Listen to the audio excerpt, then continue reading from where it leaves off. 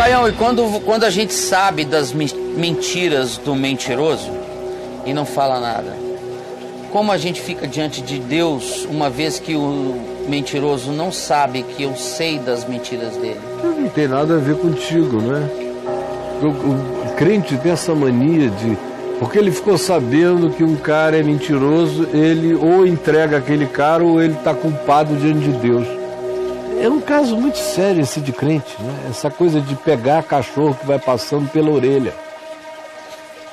É, o cachorro vai passando doidinho, aí o crente assim, eu sei que ele tá doido, deixa eu pegar esse cachorro, mete a mão na orelha dele.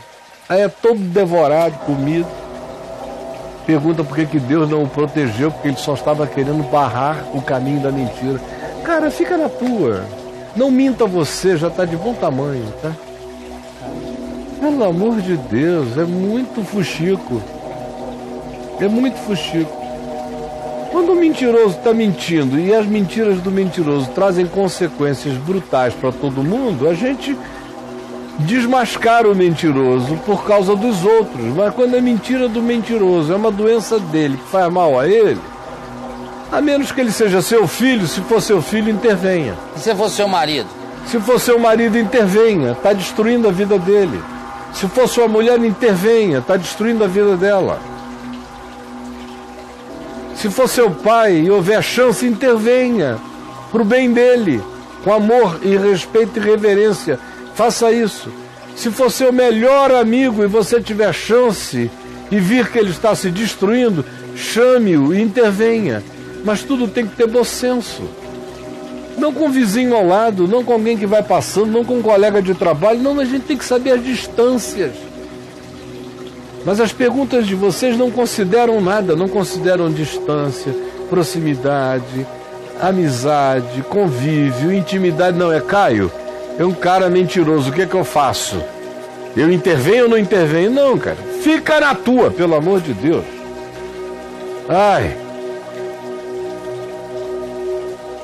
Ai, Jesus, a vida de vocês é ruim demais porque vocês a fazem ser horrorosa contratam muito, muito, muito cão raivoso passando pela estrada. Pegam o bicho pela orelha e jogam dentro da cama de vocês. Depois não sabem porque ficaram mordidos. Porque não tem a menor sabedoria para saber onde te diz respeito, onde não te diz respeito. Onde o melhor caminho é sair silencioso. Ah. E aí? Ah, isso não tem jeito não, Braulio. Eles não vão querer aprender o Evangelho, aprender com Jesus. Quem lê o Evangelho aprende com Jesus a ficar calado.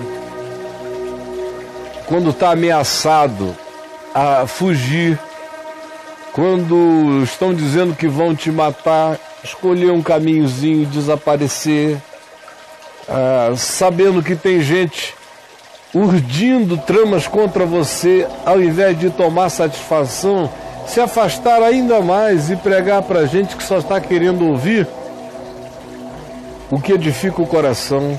Com Jesus você aprende isso. Você não aprende nada diferente. Você não vê Jesus indo se meter na vida de Herodes, acampar na porta do palácio de Herodes, fazer uma passeata, organizar os discípulos para rodarem dizendo Herodes é uma raposa, Herodes é uma raposa, Herodes. Não, você não vê Jesus se metendo na vida de ninguém.